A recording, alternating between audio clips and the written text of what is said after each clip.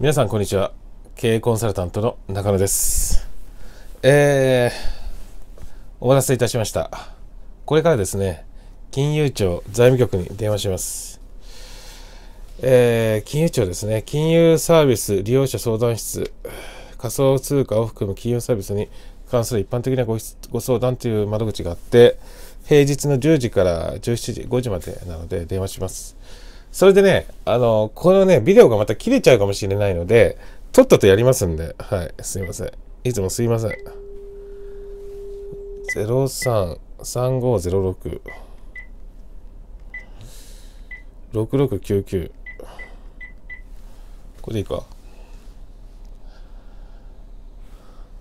ちょっとオンフックにしました。聞こえるようにねみんなもね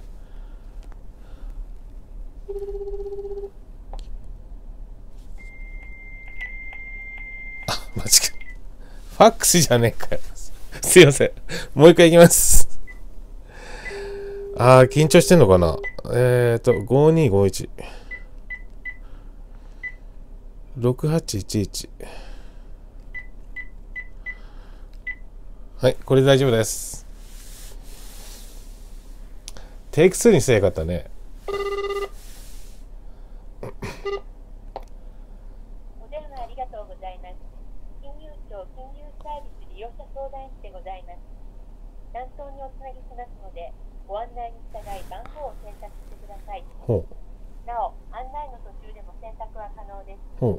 ダイヤル回線の方はストーン信号を切り替え後に選択してください。預金融資のお問い合わせは1番。投資商品のお問い合わせは2番。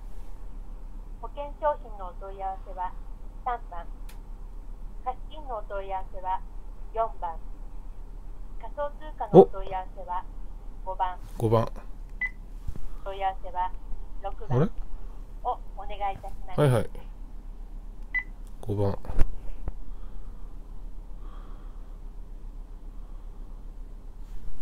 その他の担当へおつなぎいたしますので、このままお待ちください。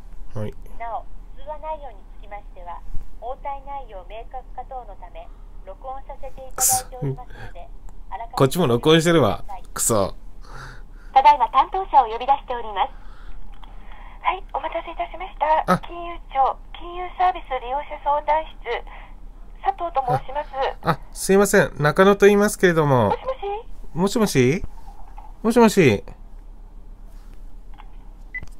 もしもし？あ、中野と言いますが。あ、あ、中野と言いますけれども。えっと、ちょっとですね、あの、仮想通貨の、えっと、ば、取引を始めようと思いまして、えっと、どこの取引所がいいかなと思ったんですけれども、あの、テレビ CM を見て、えっと、コインチェックっていうところがテレビ CM やってたので、そこのコインチェックを口座開設しようと思ったんですけど、あの、金融庁財務局のホームページ見たら、えっと、なんか金融庁のなんか登録がされてない取引所かどうか確認してくださいって書いてあって、それでなんか Excel ファイルみたいので確認したら、あの、コインチェックが載ってないんですよ。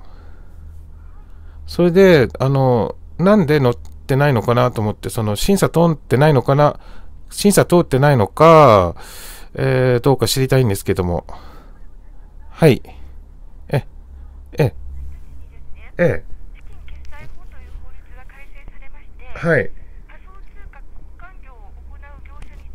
はい。登録制が導入されております。それで、ええ。当庁のホームページ上とかの画面は確認いただいたということでございますが、そうなんです。見ました。私も今確認いたしましたら、ええ。あのコインチェックではですね、登録がございませんで、ええ。ただですね、ええ。はい、一部改正に伴う経過措置によりましてですね、はい、平成29年4月1日より前に、ええ、仮想通貨交換業を行っていた業者については、はい、平成29年4月1日から規ええ、6ヶ月の間にですね、ええ、登録申請した場合はですね、ええ、その期間を経過した後も、ええ、その申請について、ええ、登録、または登録の拒否の処分があるまでの間は、あ仮想通貨交換業を行うことができるとされているんですが、あ、なるほど。その申請中の業者については、ええ、一般に公表しておりませんで、ええ、ええ、えーあの金融庁としましてはですね、はい、登録のあの信用性と各業者の信用性等は担保しておりませんけども、はい、お取引をされるにあたってはですね、ええ、登録業者、はい、はい、等にですね、ええ。あのお取引されることをお勧めはしておりますけども、ああ、